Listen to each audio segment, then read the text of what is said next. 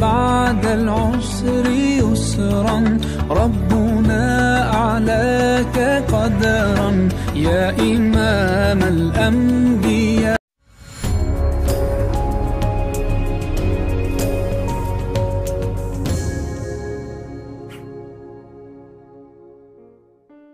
There are seven central characters in the play Pygmalion.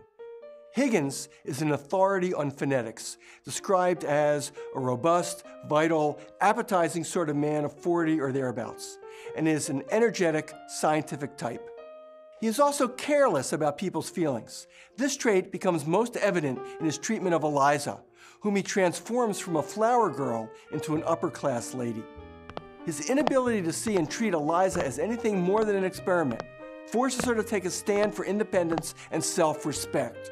While Higgins remains fundamentally unchanged by the end of the play, he gains a new perspective on Eliza and views her with respect. Eliza Doolittle, also called Liza, is introduced as a dirty, shabbily dressed flower girl in need of a dentist. Her Cockney accent places her in London's lower class, yet her intelligence and ambition allow her to aspire to something finer. In Higgins' laboratory, she is transformed into a lady who can pass for a duchess. Her real transformation comes with being treated oh. like a lady and gaining self respect. Colonel Pickering is the author of spoken Sanskrit and is a master of Indian dialects. He is an elderly gentleman of the amiable military type, and throughout the play, he demonstrates a generous and courteous nature. He's kind to Eliza as she changes from a flower girl to a lady. Doolittle is described as an elderly but vigorous dustman. A happy member of the undeserving poor, he recklessly spends money he borrows from others. He has no morals at all and is willing to turn his daughter over to Higgins, no questions asked, for five pounds. Mrs. Higgins is a gracious member of the upper class. Her affection for Higgins does not shield her from irritation at his lack of manners, and she is adept at putting him in his place. Intelligent and perceptive, she soon discerns the problems that her son's experiment will cause for Eliza. Freddie is a young man and a member of the upper class, good natured, though somewhat weak, and a true gentleman. He is infatuated with Eliza. At the end of the play, Eliza suggests that she might marry Freddie, though he has no money to support them both and may seem unfit for work. But he is devoted to her, unlike Higgins, and he won't try to make her something that she is not. Mrs. Pearce is Higgins's housekeeper. She has a strong sense of propriety and takes it upon herself to be sure that Eliza is cared for properly while in the house. A bond between Eliza and Mrs. Pearce grows, and Mrs. Pearce frequently pushes Higgins to show consideration for Eliza and to think about Eliza's future.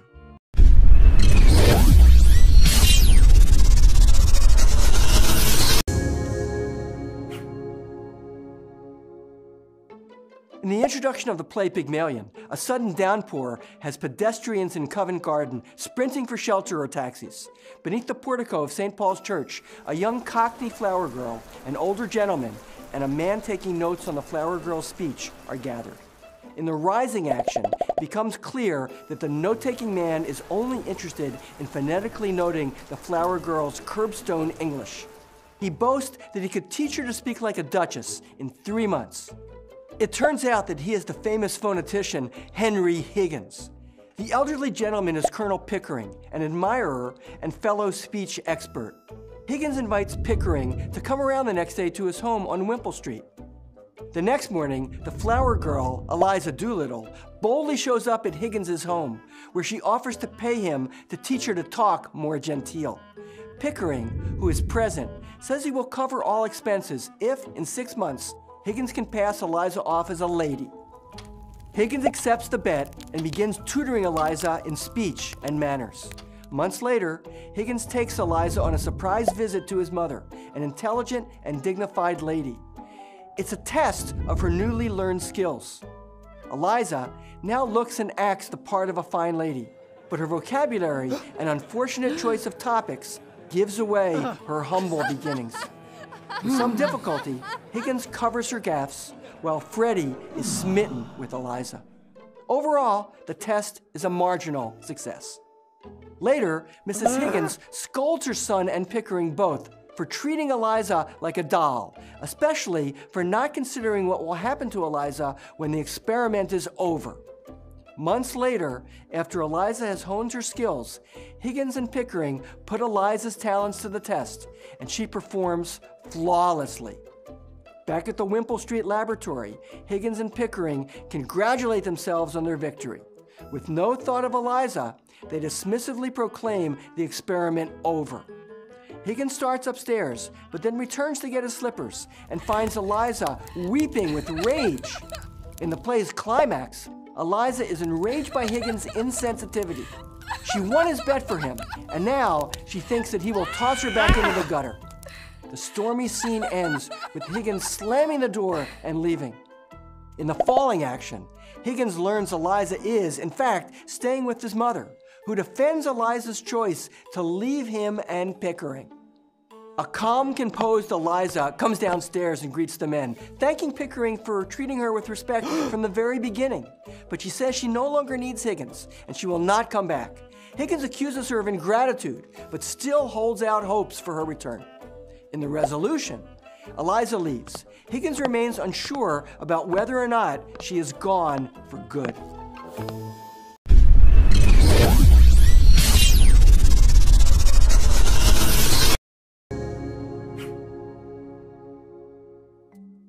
In Act 1 of Pygmalion, in Covent Garden, a district of London, a torrent of rain sends people hurrying for shelter under the portico of St. Paul's Church. Among them are a finely dressed lady and her daughter, who have been to the theater and now seek a taxi to take them home. Another is a man writing in a notebook. The lady's son, Freddie, rushes in, saying no cabs are available.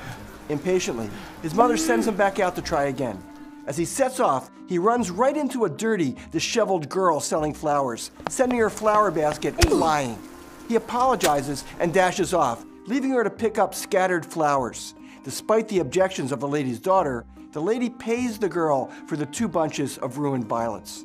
Then, an elderly gentleman dressed in evening clothes hurries in out of the rain and pauses near the flower girl, who tries to sell him some flowers. He gives the girl three halfpence, or half pennies, and walks off.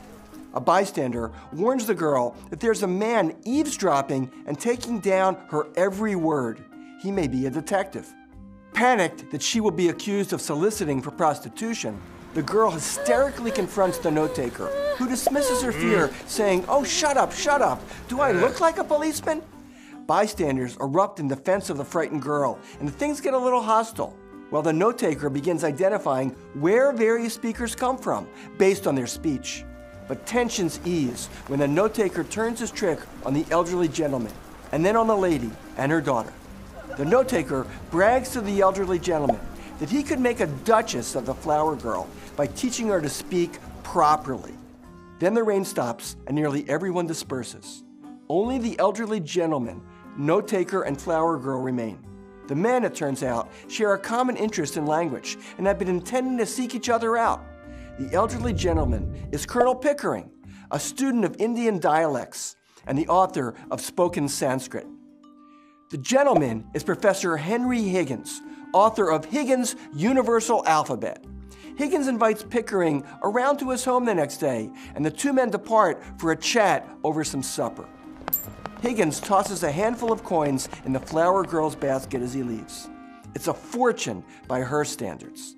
When Freddie pulls up in a taxi for his mother and sister, who have taken the bus, she takes it off his hands and heads home in style.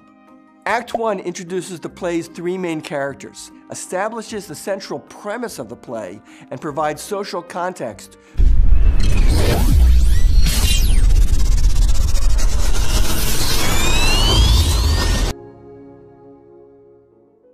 In Act Two of Pygmalion, the next morning, Pickering visits Higgins at his home and laboratory on Wimpole Street.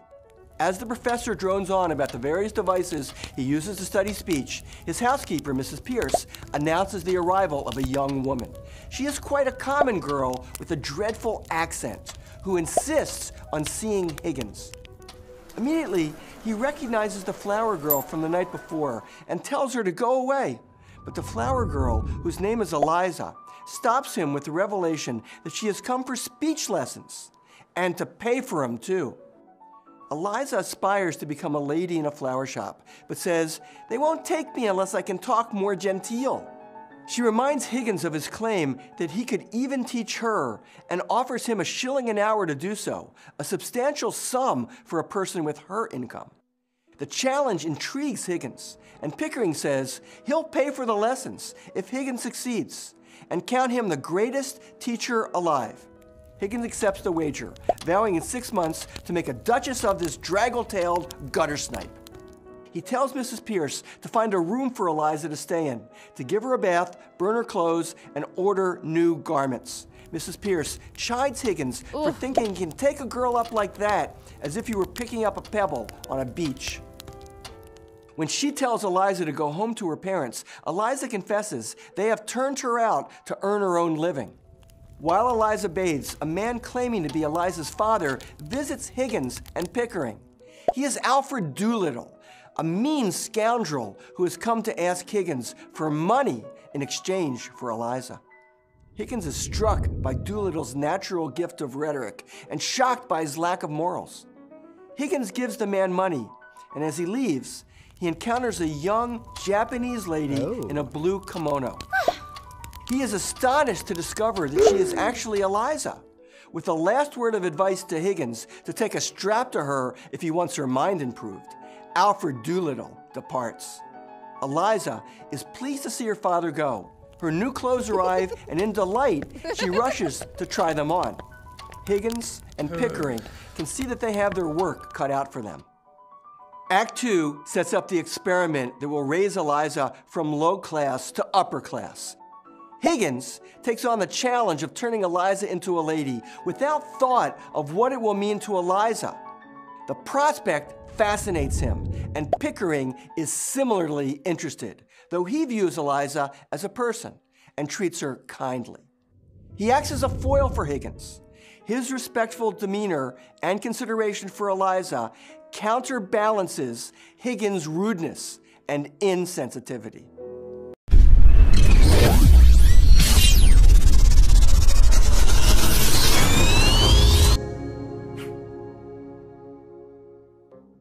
In Act 3 of Pygmalion, the story moves to the elegantly furnished drawing room at the home of Higgins's mother. It's Mrs. Higgins's day for receiving visitors, and she is not pleased when her son bursts in without warning. He lacks social graces and tends to insult her guests. Higgins surprises her with news that he has asked a common flower girl, whom he has taught to speak properly, to come to see her. Her pronunciation is quite good, he explains, but she still needs to learn what to talk about. He hopes his mother can help. Mrs. Higgins's other guests arrive, and among them is the genteel lady from Act 1 who purchased the flowers spoiled by her son, Freddie. Freddie is also present, as is Pickering and the daughter of Mrs. Higgins. Pickering is the last to arrive before Eliza makes her entrance. Elegantly dressed, Eliza creates an impression of exceptional beauty and sophistication, perfectly articulating her greetings. As Mrs. Higgins later comments, hmm. Eliza is a triumph of her son's and her dressmaker's art. Eliza soon slips into an unsuitable family tale of a pinched straw hat, a suspected murder, and some gin drinking. Higgins passes it all off as the new small talk. Freddie, however, is captivated by her loveliness and odd ways. Once alone with Higgins and Pickering, Mrs. Higgins passes judgment on Eliza saying she's not presentable and reveals her low status. She chides both men for treating Eliza like a live doll. The result of teaching Eliza to look and sound like a fine lady will likely leave her caught between two worlds one in which she still needs to earn a living, the other in which her new status disqualifies her from doing so. Both men completely miss the point. Then they leave with plans to take Eliza to a Shakespeare exhibition. Alone with her frustration, Mrs. Higgins cries out, Oh, men, men, men. Mrs. Higgins's home is the perfect setting for Eliza's big test. In her clothing and mannerisms, the flower girl has made great strides, especially her perfectly articulated speech. However, her choice of topic hardly matches either her exquisite appearance or language, especially her use of the word bloody, a word considered obscene in Shaw's time. Also, a relationship forms here between Freddie and Eliza. He is smitten with her beauty and unconventional ways. His adoration will become a source of comfort for Eliza and of irritation for Higgins.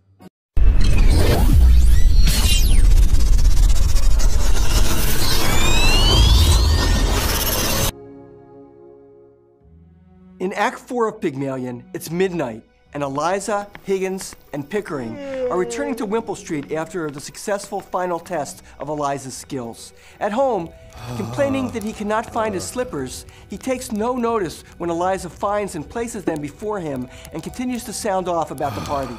He's glad it's over and labels the whole experiment as a bore and simple purgatory.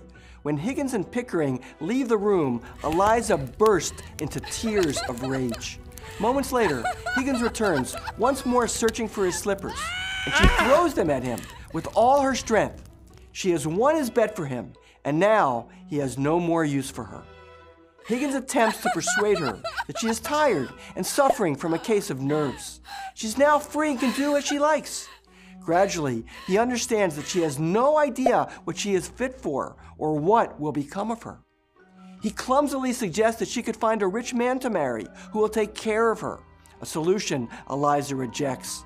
Refusing to take the problem seriously, Higgins starts off for bed. He stops when Eliza quietly asks who her clothes belong to. She wants to know what she can take with her, as she doesn't want to be accused of stealing. She hands him the jewels he rented for her, along with the ring he bought her. She tells him she doesn't want the ring anymore. Dashing the ring into the fireplace, Higgins storms out and slams the door. In the morning, Eliza decides to visit Mrs. Higgins and ask her advice about what she should do. In this act, the evening success is the culmination of all Eliza and Higgins have worked to achieve. Yet the turning point in the play occurs after the victory. Eliza's months of tireless study and fine performance were a success, but they go unacknowledged by Higgins and are barely touched upon by Pickering. The professor still sees Eliza merely as a way of proving his theory about language and his genius as a teacher. But that's not how Eliza feels. Angry and frustrated, she thinks Higgins has no further use for her and will abandon her, throwing her into the street just as her father and stepmother had done. She has had a taste of life as a lady and acquired all the necessary attributes. Her dreams have grown beyond merely working in a flower shop. Higgins has viewed Eliza as his creation, and he has imposed only superficial changes, language, clothing, and manners upon her.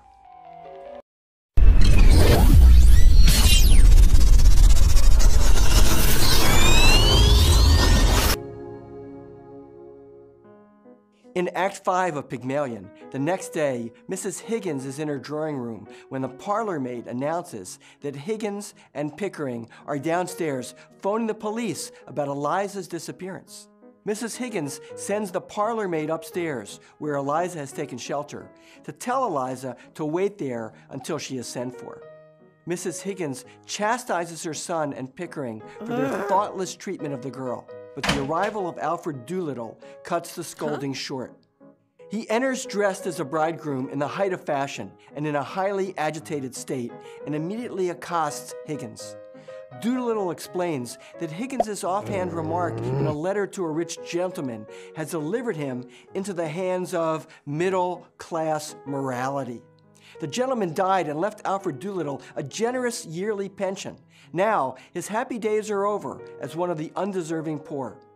Mrs. Higgins reveals that Eliza is upstairs. Mrs. Higgins again reproaches her son and Pickering for their callous conduct the night before. Eliza enters, looking coolly self possessed, and politely greets the two men. She thanks Pickering for treating her well and showing her respect. Higgins' arrogant, ill mannered reaction to this prompts Alfred to make his presence known to Eliza. After an awkward moment, she agrees to come along to see him married. For a few moments before leaving, Eliza and Higgins are left alone. Higgins tries to convince her that he did not treat her any differently from anyone else, that he treats everyone rudely, and then softens a bit and tells her that he will miss her if she leaves. Knowing Higgins will never change, Eliza hints that she may marry Freddie and support them both by teaching phonetics, possibly as an assistant to a rival of Higgins. Outraged, Higgins grabs her and threatens to wring her neck if she does. He sees something in Eliza that he has overlooked until now. Eliza is a tower of strength, a consort battleship. As the play closes, Eliza seems set on a path away from Higgins. But Higgins remains cheerfully confident that she will return to Wimpole Street and continue to be part of his life. A play's resolution or denouement usually ties up all the loose plot threads and answers any lingering questions. But the question of Eliza's future is left unanswered. Eliza declares her independence from Higgins, says goodbye for the last time, and sweeps out of the room. Yet Higgins is confident that she will return. The resolution then is left up to audience members and depends upon their interpretation of events. The final act also raises a fresh question. Now that she is a lady, is Eliza really better off?